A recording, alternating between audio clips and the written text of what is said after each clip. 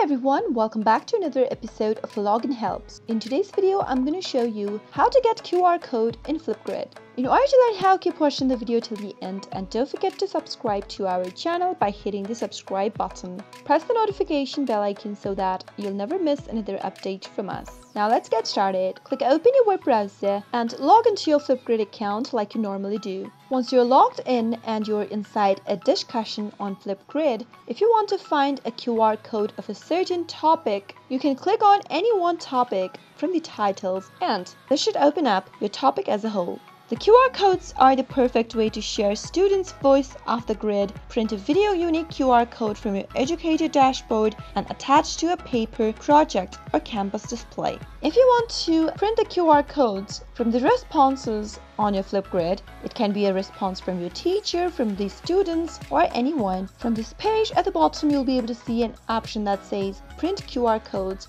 Click it on, and on the new tab, you'll be able to see your QR codes for each response videos that has been created on a certain topic. You can simply print your QR codes and when you do that, from the login page, you can simply scan the QR code of the topics that you printed out by clicking on this QR code option. Now simply place the QR code in the camera screen and you'll be able to find the video topics and your students or your teachers' responses come alive. That is how you can find your QR code on Flipgrid. I hope you found the video to be helpful. If you did, go ahead and give us a thumbs up, comment down below in the comment box if you have a question or a feedback for us. I'll soon be back with more tutorial episodes. Goodbye till then.